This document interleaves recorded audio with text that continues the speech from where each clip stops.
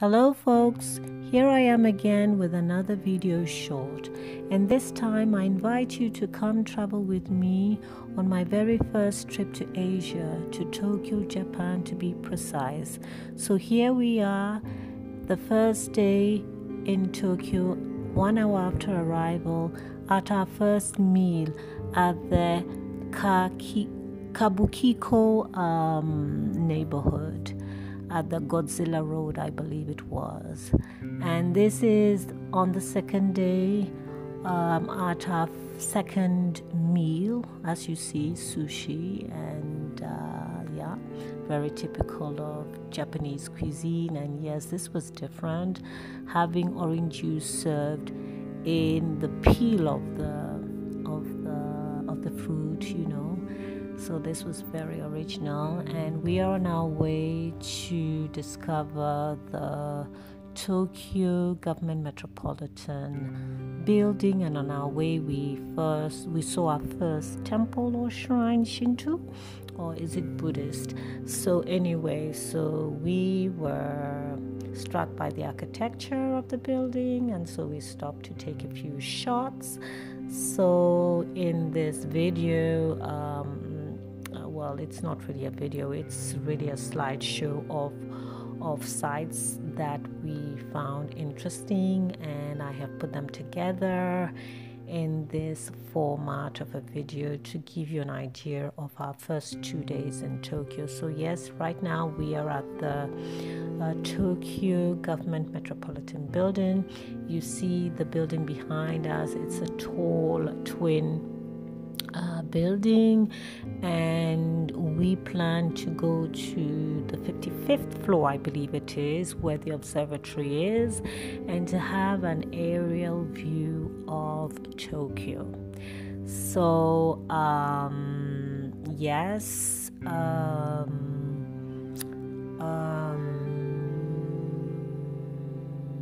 So, yes, we are in front of the building. In fact, what we did during the day was to go to the Tokyo um, Tourist Information Center and equip ourselves with all the necessary local maps so that we had a more detailed understanding and knowledge of our neighborhood. So the first day was actually exploring our neighborhood on foot and to have a better sense of direction and orientation and to also spot uh, um, interesting tourist um, attractions or sites to visit uh, on foot. So, yes, now we're up in on the 55th floor, I believe it was, of the Tokyo Government Metropolitan Building. And if, as you see behind me, there is this shining building.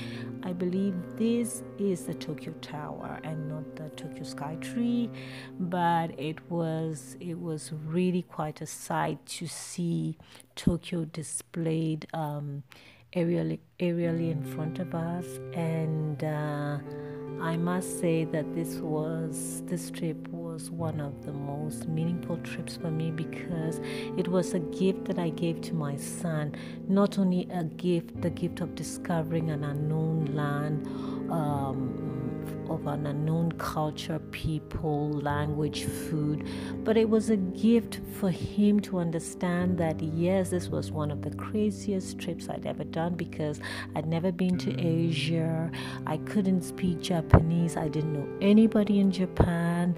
Um, but it was a trip that I had planned and I had planned to do, and and I, I wanted to do it alone with my my adult son, um, uh, my young adult son, for him to learn how to depend on himself because it is a challenge for um, at least for me for a woman of color to go alone uh, to a faraway country, culture where you did not speak the language, you knew nobody there, and you had to depend on yourself, on your instincts, on the knowledge that you have acquired, put together of, of a place, and that getting there you had to find your way around and, and make the experience memorable. So for me, this was uh, one of the most uh, powerful gifts that I gave to my son was to help him to um, to help him to understand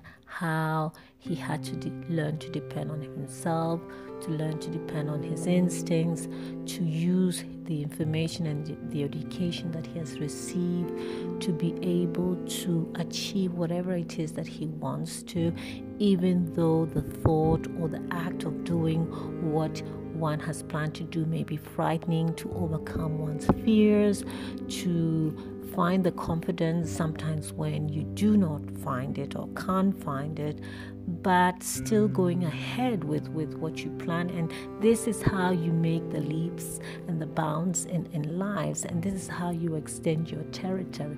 It's not cowering away from your fears, but facing them and actually going over and above them by actually plunging, throwing yourself into the challenge. And this is what I did. And uh, it was also an opportunity for me to get to know my son better and for him to get to know me better. Because sometimes uh, when our children age, there can be distances that are created, but this brought us even more closer together. So, this is how we spent the four the first two days, and so we couldn't find a table that evening at the observatory, but we did have a drink and we did have a dessert. Our first sample of Japanese ice cream, I believe. Um, and so it was just a wonderful first two days. And so i have put this album together this collection for you to have an idea of the magic that was created. And i hope this magical feeling is transmitted through this story. So see you in the next episodes. Bye